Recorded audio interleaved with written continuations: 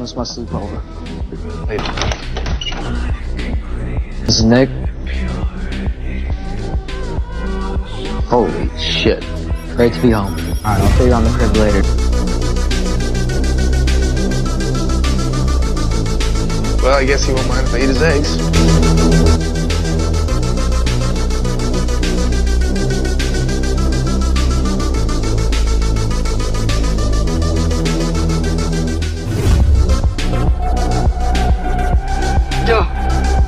What'd you do?